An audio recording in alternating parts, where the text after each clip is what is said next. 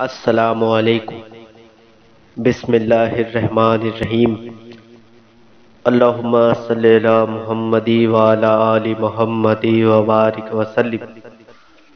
फरमान सरकार हाजी हाफिज सैयद वारिस अली शाह हजमुल्लाहु ज़िक्रहु इरशादात आलिया मुंतलका वजहात मंजिल फ़ख्र फरमाया सिलसिला फ़कर अहल बैत कराम सलाम से है। फरमाया, फ़कीरी, बीबी फ़ातिमा जहरा सलामुल्लाह अलैहा से है। और इमाम हुसैन अलैहिस्सलाम ने ये फैज़ जारी किया। फरमाया, तस्लीम रज़ा, बीबी फ़ातिमा जहरा सलामुल्लाह अलैहा और दोनों साहबजादों का हिस्सा है।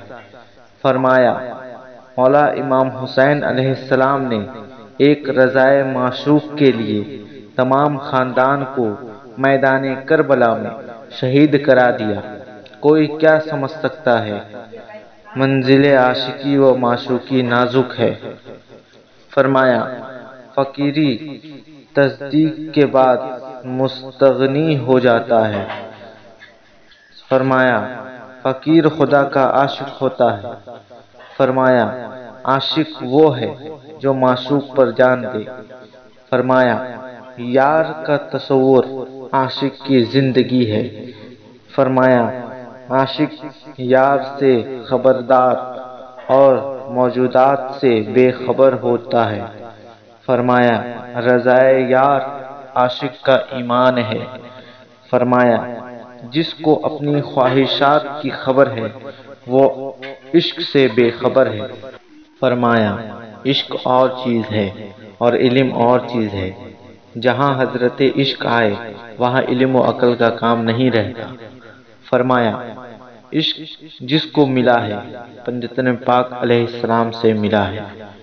फरमाया, मार्फत कसबी चीज़ नहीं है, महज वह भी है, जिसको खुदावंद करीम अपनी मार्फत देते, किसी का इजारा नहीं है। फरमाया सुनो सुनो, आँख बंद करने और सांस रोकने से, हक हक करने से क्या होता है? ये वह भी चीज़ है जिसको खुदा चाहता है, अपनी मार्फत देता है। यहाँ कसब का काम नहीं। फरमाया, मज़हब इश्क में कुफर और इस्लाम से गर्ज नहीं है। जो कुछ है माशूक है। फरमाया, जिसको माशूक चाहता है अपने इश्क की जंजीर में जकड़ देता है। फरमाया, मंजिल इश्क में ज़ात सिफत हो जाती है और सिफत ज़ात। फरमाया, आशिक की सांस बला कसब व ज़िक्र इबादत है। फरमाया फरमाया, आशिक गाफिल समझा जा सकता है, उसकी यही नमाज़ ये रोज़ा है। फरमाया मासूक की जफा को भी आशिक अता समझता है। फरमाया, आशिक को खुदा मासूक की सूरत में मिलता है। फरमाया, आशिक को एक सूरत के सिवा दूसरी सूरत हराम है। फरमाया, आशिक दीन और दुनिया से बेखबर और बेनियाज होता है।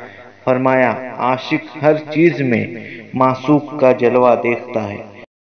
या वारिस हक वारिस या हसरत किया।